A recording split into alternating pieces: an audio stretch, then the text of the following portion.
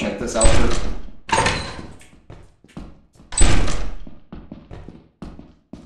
I don't have a shovel, so if one of us gets fleed, we're uh.